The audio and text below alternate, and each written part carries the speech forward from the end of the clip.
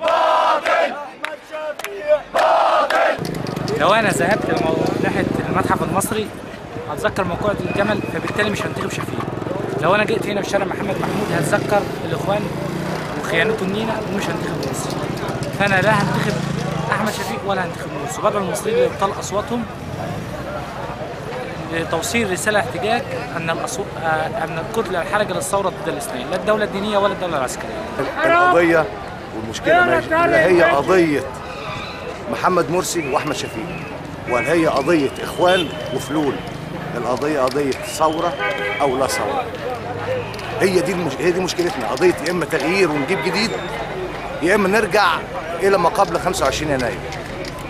إحنا بنقول الكلام ده بس محدش فاهم عشان طول عمر الفلول كده. أنا مشارك آه، ضد شفيق مرحليا دلوقتي ضد شفيق لأن وصول شفيق للرئاسة سيناريو اسود وفي نفس الوقت ان إحنا في مأزق. وصول مرسي يعني تكريس الدولة الدينية. أنا ضد الاثنين لا ننتخب لا ننتخب ده هذا ولا ذاك.